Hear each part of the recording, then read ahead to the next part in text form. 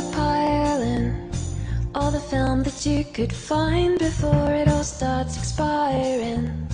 And then there won't be Polaroid anymore. Will we still look happy when we're not super overexposed? Will we still look happy when we're wearing our normal clothes?